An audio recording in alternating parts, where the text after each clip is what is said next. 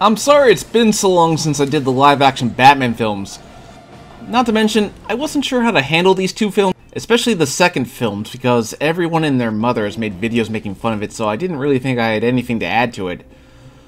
But upon looking up some behind the scenes information as to what was going on, I thought it'd be interesting to explore the mindset of the people making these films. After Batman Returns came out, the general consensus was that the film was too dark. It wasn't exactly a family friendly film that got parents wanting to see with their kids. They did try to sell toys out of Batman Returns, after all. So Warner Bros. figured a change of director was needed. Gone was Tim Burton, entered Joel Schumacher, who coincidentally enough just passed away as I was writing this video. Talk about odd timing. Rest in peace. I'm not too familiar with Joel Schumacher's work, but he managed to have a career before and after his duology of Batman movies. Exiting with Tim Burton was Batman actor Michael Keaton. He met with Schumacher about reprising the role, but decided he didn't like the direction he was taking the franchise. He didn't want to be a cartoon. In fact, this does feel like a soft reboot of the previous two films in some way, although it does keep Michael Gough as Alfred and Pat Hingle as Commissioner Gordon. Instead, we got Val Kilmer in the role of the Dark Knight, and reportedly, or so I've heard, Val Kilmer and Joel Schumacher didn't get along during filming. Their relationship was said to be very, very bad. Rather tellingly, Schumacher does not talk about Kilmer very much on his audio commentary for the film. But in addition to Kilmer, the film would have an all-star cast of its own. Tommy Lee Jones would play Two-Face instead of Billy Dee Williams, who, despite popular belief, did not have his contract bought out so Lee could play Two-Face. Although he would get to play Two-Face years later in the Lego Batman movie, which I have not seen yet, by the way. Jim Carrey would play the Riddler, who in the 90s was at the peak of his popularity. Nicole Kidman will play Dr. Chase Meridian, Bruce's new love interest. It's like James Bond, every Batman movie had to have a different girl. And finally, we have Chris O'Donnell playing Robin. He was a young and upcoming movie star at the time, 25 years old. Now, in case of a contract being bought out, this is actually true with the part of Robin. Tim Burton wanted to cast Marlon Wayans in the role, but Joel Schumacher went with Chris O'Donnell. I think Wayans still receives checks from Warner Bros. to this day because of this. Good for him. From what I gather, filming wasn't exactly smooth. In addition to Val Kilmer and Joel Schumacher butting heads, Jim Carrey on the Howard Stern show claimed that when he met Tommy Lee Jones, well, just let him tell you. And uh, the maitre d' said, "You're working with Tommy Lee Jones, aren't you?" I said, "Yeah, I am." Uh, and he said, "He's in the back corner. He's having dinner." I said, "Oh, great! I'll go say hi." And I went up to say hi, and the blood drained from his face in such a way that I realized that I had become the face of his pain, you know, or something. And uh, he got up, kind of shaking, Wow. and hugged me and said, "I hate you. I really don't like you." Oh my. Wow. And I was like, wow, okay, well, what's going on, man? Like that. And he said, uh, I cannot sanction your buffoonery. Ouch. Not only that, but Joel Schumacher raised more controversy by adding nipples to the batsuit. Yeah, I guess I should just mention that and get it out of the way. Where we last left our hero at the end of Batman Returns was more poignant and bittersweet. He was unable to save Catwoman, but he still found it in himself to say goodwill toward men and women, a message that always has value. Whereas Schumacher's Batman Forever opens with shots of Batman suiting up, nothing too bad, but then, Can I persuade you to take a sandwich with you, sir? I'll get drive through. Yeah. From then on, the plot is thus set up. Batman and Bruce Wayne have to deal with two people who want both sides of his identity dead. Two-Face, who blames Batman for his disfigurement, and Edward Nygma, who Bruce Wayne spurns by turning down his project, and he responds by sending riddles to him. Along the way, Bruce finds himself competing with himself for the affections of Dr. Chase Meridian. At the same time, Bruce meets Dick Grayson, whose family is murdered by Two-Face, even though the character should be a tween at this stage of the storyline, but what do I know? Maybe it had to do with the fact that Robin was college age in the animated series. Batman Forever wasn't exactly a critical darling, but it made a lot of money at the box office. It was pretty much the Batman film that Warner Bros. always wanted. It was safe and marketable. But that being said, do I find the movie good? Well, I don't know if I'd say that. Let's start with our villains before we get to our heroes, shall we?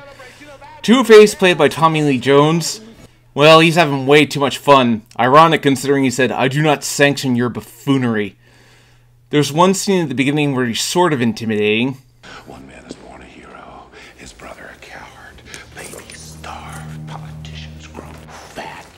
How shall we say he began? It's shown very briefly on a recording Bruce is watching where Harvey Dent was transformed into Two Face. Was Batman on the witness stand or something? Why was he just sitting there? He tends to speak in third person to reflect his duality, which tends to be inconsistent throughout the various adaptations.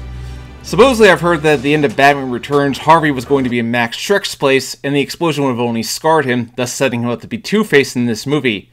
I wish that had happened. Here's the weird thing about this Two-Face. He seems to openly prefer when the coin lands on the bad side, which isn't how he works. He should always abide by whatever side the coin lands on. There's one scene where he keeps flipping to get the result he wants, which is not how it works. Not a very good adaptation of Two-Face. The Riddler, played by Jim Carrey, well, he's basically just Jim Carrey being Jim Carrey. Like I said, it was the 90s. He was at the peak of his popularity then. I think he had a movie every year. His plan is to manipulate brainwaves to become smarter. He even kills his boss, Fred Stickley, and makes it look like a suicide. You are fired! Or should I say, terminated? He basically wants nothing but revenge upon Bruce Wayne. In fact, he actually manages to successfully figure out that Bruce Wayne is Batman, something no other villain was able to do. Although I do remember an early draft of Batman 89 having Joker unmask him, not sure if I can find it. Although what's weird to me is that he already has Riddler stuff before he becomes the Riddler. How does that work? Our heroes. Well, let's start with Dr. Chase Meridian. Yeah, she's the Batman girl of this movie. She's infatuated with Batman and forms a love triangle with Batman and Bruce. Classic Superman Clark Kent Lois Lane love triangle. Of course, none of this matters since she's only seen in this one movie. Gotta admit, Nicole Kidman gave me confused feelings when I was younger. Maybe my first big screen crush. Dick Grayson, who becomes Robin, played by Chris O'Donnell, is actually pretty good. The film does capture his torment of his family's death at the hands of Two-Face pretty well. There are weird scenes, such as where he does the laundry with his karate moves or something. Then he takes the Batmobile out for a stroll, really stupid thing to do. Can I mention that in terms of the new Batmobiles, this one is a huge downgrade compared to the original. If it ain't broke, don't fix it. Also, some intruder alert, it reveals the equipment instead of hiding them. The film does take time to build up to Robin, rather than having it just happen, and Bruce is very apprehensive about having a partner. His torment is captured pretty well. Speaking of Bruce, our hero this time is faced with the idea of having a partner. Having lost his parents, Bruce sympathizes with Dick and takes him in, but he finds the idea of having a partner to be very dangerous. Finally, this film shows Batman being much more thoughtful about killing people. I think it started at the end of Returns, where he tries to convince Selina to stand down instead of killing her boss. He saw what he was becoming, and as he explains to Dick, it didn't end with Joker. He just kept going and was becoming that which he hated. Until one terrible morning you wake up and realize that revenge has become your whole life. This movie definitely emphasizes the Batman vs. Bruce Wayne battle. In fact, at the end, when Riddler has both Chase and Robin captured, it's meant to reflect his battle with his two identities. Who is he really, Batman or Bruce Wayne? Of course, like he usually does, he chooses to say both. I'd say Val Kilmer does a decent job at playing Batman. He didn't have the best material to work with, but did his best with what he could. He does make some funny faces, though. His ending feels like a natural conclusion to the character arc Tim Burton set up. Both Bruce Wayne and Batman. Not because I have to be. Now, because I choose to be. There was a deleted scene that would have emphasized the Batman vs. Bruce battle more. You see, after being shot by Two-Face, Bruce would have lost his memory of being Batman. Alfred would then tell him what he was trying to do, and Bruce would go down to the cave beneath the cave and see that his parents' death was not his fault. Then he and a giant bat would have become one, reflecting that he had chosen both identities. Unfortunately, it has that awkward line. I'm Batman, Alfred. I'm Batman. Yeah. So really, all this seems like it'd make for a great Batman movie. The struggles between the Bruce Wayne and Batman identity. The themes of loss and revenge. Bruce trying to keep Dick from going down the same path. A love triangle that shows Bruce trying to have a normal life. A villain who's smart enough to figure out Batman's secret identity.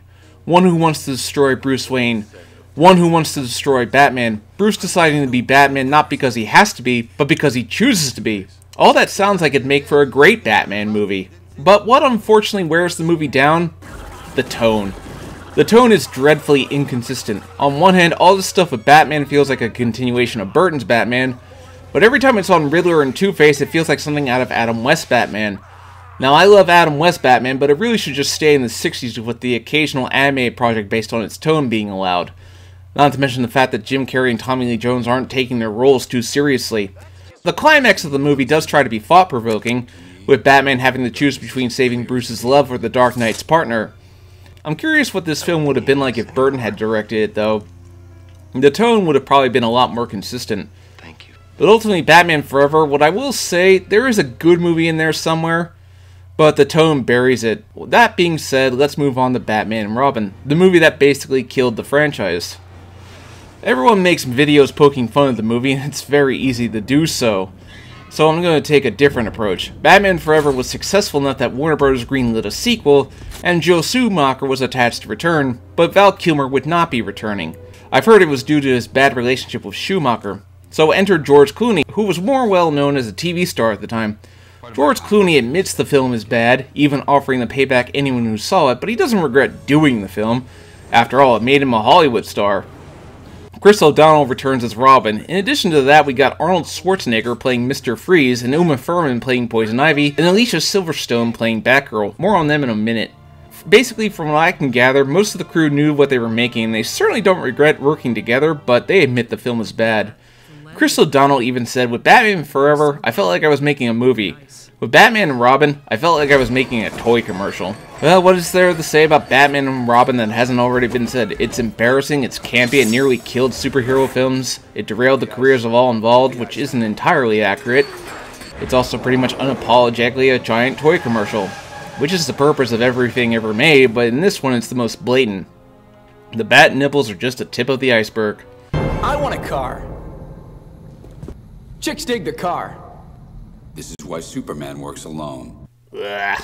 So this is the plot of Batman and Robin. Batman and Robin must learn how to work together to stop Mr. Freeze, who wants to cover the world in ice, who teams up with Poison Ivy, who wants to cover the world in plants, even though their goals are completely incompatible. Oh, and Barbara Gordon shows up to become Batgirl. Oh, not Barbara Gordon. Barbara Wilson. Let's just get this over with as quickly as possible. So Mr. Freeze is basically kind of a mix of the tragic character introduced in Batman the Animated Series and the Adam West TV show. He does genuinely love his wife Nora and wants to save her. Of course, by complete coincidence, Nora has the same disease that Alfred has. More on that in a minute. But to give credit to Arnold, he knows full well what kind of movie he's in, and he just decides to have fun. He has some of the best lines too in his career. I hate when people talk during the movie. Poison Ivy, after being dumped in whatever this stuff is, that doctor is actually the same guy who voiced Riddler in the animated series. Pretty interesting, really. She wants to bring Mother Nature back to the world, doesn't care how many humans have to die, yada yada yada. She tries to make Batman and Robin fight over her despite being a bad guy. Bad, yes. Guy, no. Thank you for that. She also apparently has a crush on Mr. Freeze when she tries to murder Nora. Also, she would have killed Bruce's girlfriend in this movie. I forget her name. She's easily the most forgettable of all the Batman girls. Like Arnold, Uma Thurman is just delightfully hamming it up because she knows what kind of movie she's in. Although she would rebound nicely with the Kill Bill movies, so good for her. Oh, I forgot. Bane is in this movie. Bane. Bane. Well, I'm a lover, not a fighter. That's why every Poison Ivy action figure comes complete with at least they admit it. A laundry service that delivers. Wow. That sums up Bane pretty well for this movie. As for our heroes, well, let's start with Batman. George Clooney just sounds really, utterly bored. Hi, Freeze. I'm Batman. That is the worst I'm Batman I have ever heard. This movie is about him learning how to accept that he needs help, even though the last film was kinda about that, but Aesop amnesia, I suppose. There is a surprisingly deep line about the nature of Batman. But what is Batman? If not an effort to master the chaos that sweeps our world. I want to use the full clip, but copyright restrictions and all. We'll come back to him because there is one scene I genuinely like. Robin is annoying. He was perfectly fine in Batman Forever, but in this movie, he's nothing but a whiny little brat. It's Batman and Robin, not Robin and Batman. And I'm sick of it. Shut up, dick. Also, he gets his own little motorcycle, or a new toy. He's about as bad as Kung Lao from Mortal Kombat Shaolin Monks. Also, there's Batgirl. She's in the movie, I guess? Okay, gonna nitpick a little bit here, but couldn't Alicia Silverstone at the very least have worn a red wig? Just saying. I must say it is a little disturbing that Alfred had an entire batsuit designed for her and nobody thinks anything of it. Ew. The film is trying to have an emotional core with Alfred dying. I mean, it makes it very obvious that Alfred is dying in the opening scene. I do like how Alfred is continuing to do his job even when faced with his dying moments. The idea of Bruce having to deal with losing his last father figure is a good idea. Shame it's all buried under the camp. There are some good lines, I guess. No defeat death, Also, there's a bunch of things that make no sense, like Poison Ivy randomly bragging to Batgirl how she pulled Nora Freeze's plug. Also, how did Batman get that footage? It wasn't like he could record it. Oh yeah, and Vivica A. Fox is in one scene. Just one scene! Hope she got paid decently for it. Also, another thing that's odd is that Batman and Robin now make public appearances when previously he was averse to the idea of being seen in public, such as when he took Vicky's camera footage. Not that he can really stop that today with the advent of smartphones, but just saying, kinda odd. Like I said, there is one scene I genuinely like. It's when Mr. Freeze is defeated, and Batman tells him that they found and restored Nora, and appeals to Freeze's better nature. Asking him to help him cure Alfred, this is not the same Batman who would casually kill off a random mook. He's appealing to Freeze's better nature. Victor Freeze. Help me save another life. Show me how to cure McGregor syndrome stage 1. To be a better man. He has compassion for his enemies now. That is who Batman is.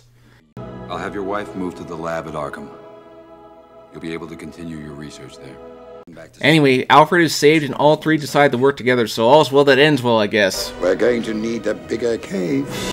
Shut up, Alfred. So yeah, maybe a couple of good moments sprinkled in a bunch of really stupid moments. That's Batman and Robin in a nutshell. The film wasn't really a bomb, but the severe fan and critical reaction to it caused Warner Bros. to take a massive look back at the direction they were taking. That being said, there were plans for a fifth Batman film, with Schumacher returning to direct. The working title was Batman Triumphant, although it was actually Batman Unchained. Nobody's sure where that triumphant came from. Reportedly, it would have featured Scarecrow and Harley Quinn as the villains. Here, Harley would have been reimagined as the Joker's daughter rather than his girlfriend. I remember vaguely hearing about this movie back in the early days of the internet. It was going to be a return to a darker Batman, but the terrible reaction to Batman and Robin basically killed it. Scarecrow was looked to be played by Nick Cage, and Courtney Love as Harley Quinn. They would realize their goals of wanting to kill Bruce Wayne and Batman were the same, and would team up. Bruce would also have visions of all the previous villains he fought Danny DeVito's Penguin, Michelle Pfeiffer's Catwoman, Tommy Lee Jones' Two Face, Jim Carrey's Riddler, and ending with Jack Nicholson's Joker. Even if the movie sucked, I would have loved to have seen this scene. The idea of Joker returning in Batman's fear toxins would later come to pass in 2015's Batman Arkham Knight. You can see my review for that in the card. So what can we say about Schumacher's Batman? Well, I point out that yes, tone is a major issue in both films, but there was a genuine sense of love for the character that Schumacher had. He was a comic book fan after all. From all accounts, Joel Schumacher was a genuinely nice guy who did a lot for people's careers. Then I really want to apologize, because it wasn't my intention. My intention was just to entertain them. In a way, I guess you did, Joel. Rest in peace. Thanks for watching. If you like this video, please hit that bell, like, and subscribe button. I think the next superhero movie franchise I'll do will be X-Men. The rise, fall, rebirth, and re-fall of the X-Men movies. Won't that be fun? See you next time.